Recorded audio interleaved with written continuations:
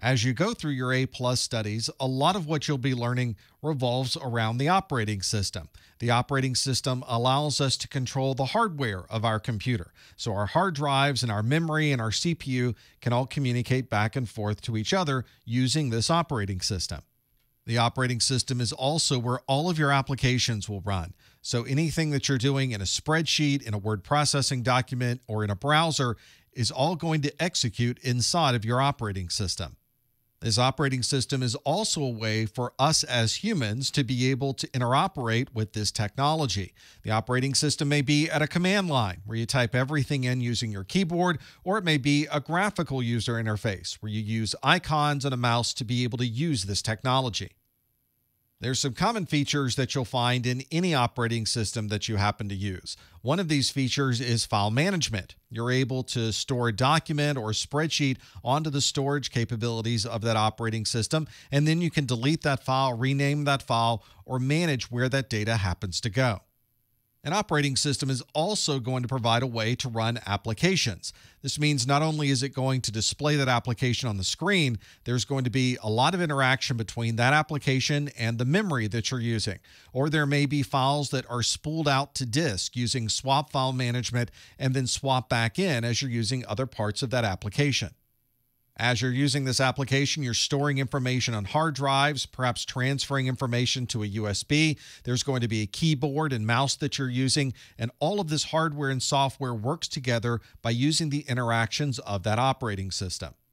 And there needs to be some way to manage the overall operation of the OS. The operating system will usually include programs or utilities that allow you, as the end user, to be able to monitor and manage any aspect of that OS. One of the most popular operating systems is Microsoft Windows. Not only are there the traditional desktop operating systems for Windows, such as Windows 7 and Windows 10, but there are also server versions of Microsoft Windows that are used to manage very large scale applications in the data center. The advantages of Microsoft Windows is that it has a huge support from the industry. Most applications are automatically written to run in Microsoft Windows. You also have many different options for the type of Windows that you're using. There's versions of Windows that are designed to be used at home, and other versions of Windows that are designed to be used in the data center for large scale applications. Unfortunately, having such a popular operating system with such a large number of installed systems means that you're also a very big target for security exploitation. The bad guys know that if they can find one way into Windows, then they're able to take advantage of many millions of desktops around the world. Another challenge with Windows is that it has to support a wide variety of hardware. So, uh, many different monitors, many different video cards, different storage devices, and different types of printers all have to interoperate and work properly in this single operating system. Here's a screenshot of Windows 10. You can see the menu along the left side. You've got a search bar at the bottom and other icons that you can choose here to quickly access the applications that you need. Another popular operating system is Apple's Mac OS. This is primarily designed as a desktop operating system designed to run on Apple hardware. Apple's Mac OS is designed for ease of use. And because you're running on Apple's hardware, you know that the operating system and the hardware of that computer will be extremely compatible with each other. This also means you have less support in the industry for applications running on that operating system than something like Microsoft Windows. And with Microsoft Windows, you can choose the components you'd like so that you can build a computer to fit any particular price point. With macOS, the only hardware options you have are those available from Apple. So you may find that your initial hardware cost is a little bit more than if you were to build the system yourself. And here's a Mac OS desktop, and you can see there are a lot of similarities between Mac OS and Windows. There's icons at the bottom that can be used to start applications. You can see the storage devices are listed as icons on the desktop. And in many ways, these similarities are the same between Windows, Mac OS, and the Linux operating systems. Another popular operating system is the free operating system of Linux. With Linux, there is no single Linux operating system. Instead, there's a combination of features put together into what the Linux community calls distributions. One of the obvious advantages of Linux is the cost. There is no cost associated for using or running any applications on a Linux operating system. Linux also works on a wide variety of hardware, so you can build your own computer and run the Linux operating system on top of it. And the user community for Linux is very large and worldwide. So if you have any questions about the Linux operating system, there will always be someone willing to help. Because Linux is an operating system that relies on this user community, though, there are some limitations to the amount of hardware that can be supported. You may find that there's limited driver support for hardware that is not mainstream, especially for customized or proprietary hardware that might be inside of laptop computers. You might also find that support options for Linux are also limited. There's no single Linux company to go to for support, so you have to make sure you have knowledgeable people available to help you with any problems that you might have with the Linux operating system.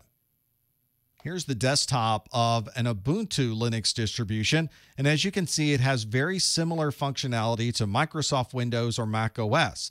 You have the standard icons on the screen that allow you to run applications or a search bar at the top so that you can find your documents or other applications all with a few keystrokes. One of the distinguishing characteristics of an operating system is the type of processor that is supported by that OS. There are usually two options to choose from a 32 bit processor or a 64 bit processor. One of the differences between these two is the amount of information that can be processed or stored by that processor. For example, a 32 bit processor can store values that are 2 to the 32nd power, which means you get about 4 billion different values. If you've ever seen the amount of available memory that you can put in a 32 bit operating system, you know that it's about 4 gigabytes of memory. And so you can see that's exactly where that 4 gigabyte value comes from. A 64 bit processor can store information that is 2 to the 64th power, which is much larger than our 4 gigabit value with a 32 bit operating system. In fact, in a 64 bit operating system, it's about 17 billion gigabytes of information that can be accessed, which is very different than the 4 gigabytes available in a 32 bit operating system. This means that theoretically, your operating system running on a 64 bit processor could allow you to install 17 billion gigabytes of memory. In reality, though, the operating system probably has a much smaller maximum value, although certainly much larger than the capabilities you would have with a 32 bit operating system. Another important consideration when you're using 32 bit versus 64 bit operating systems are the type of drivers that you're using in the operating system itself.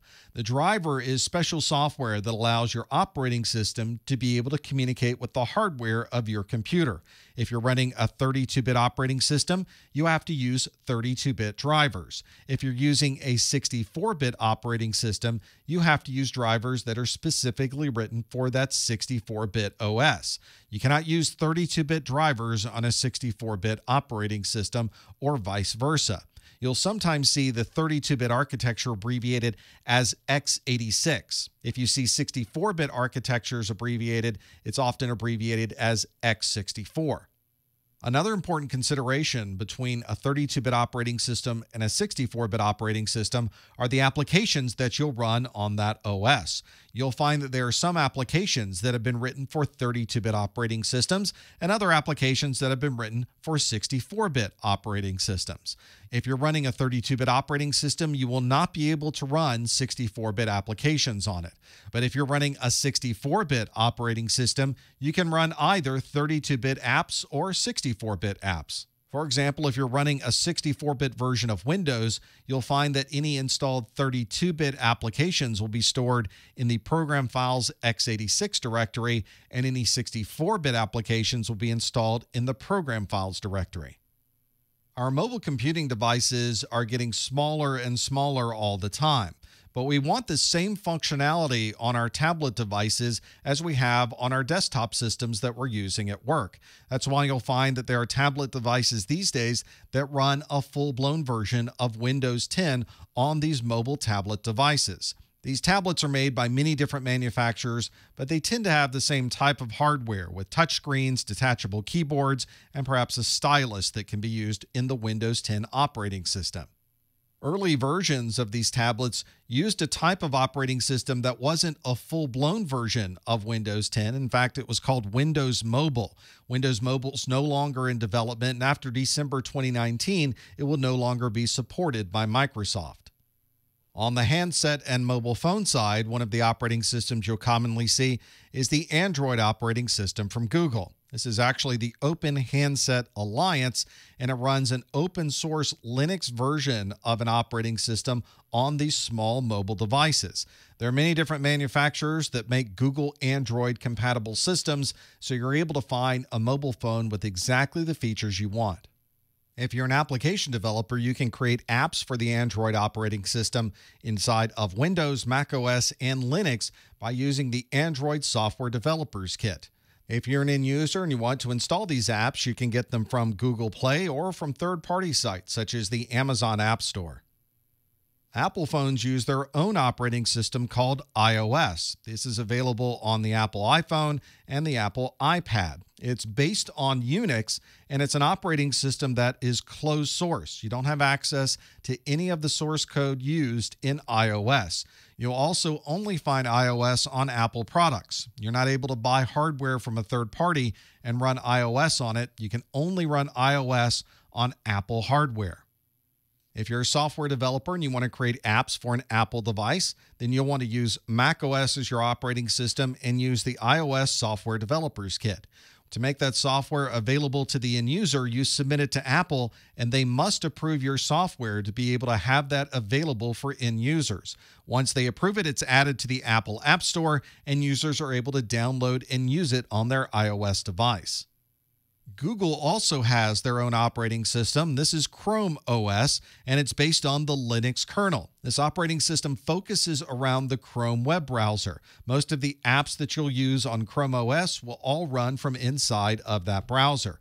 This relatively simple approach to applications means that many different manufacturers can now create hardware that will run Chrome OS. And since the operating system is less demanding, you also will find that the hardware is less expensive. Because many of the apps in Chrome OS run in this browser, there's a strong reliance on the cloud. So you have to make sure you have a good internet connection to run many of the apps available in Chrome OS. With so many different operating systems to choose from, it's important to know where the limitations are with each particular manufacturer's OS. For example, you have to think about how long a particular operating system will be supported. Different manufacturers have different philosophies around end of life. Some manufacturers like to support an operating system for a very long time. Others support it for a shorter period and expect that you're going to upgrade to new hardware when that software hits end of life. Manufacturers also have a different philosophy on how the operating system itself will be upgraded. With Microsoft Windows, Mac OS, and Linux, you may be presented with an upgrade option and then you get to choose. Although even those options are slowly migrating into operating systems that will always keep themselves upgraded, such as the philosophy found with Chrome OS. Even though these are very different operating systems, there are certain types of data that can be shared between the different OS. For example, it's very common for movies and music to use a common format that you can watch or listen to regardless of what operating system you may be using. Where you start to run into problems, though, is with the applications themselves. If an application is designed for Windows, it usually is only going to run in Windows. In some cases, you're able to take the data files that you've saved from that application and move the data file to a different application on a different operating system. And that may be a big reason why some web based applications have such popularity, since they'll run in any web browser regardless of the underlying operating system.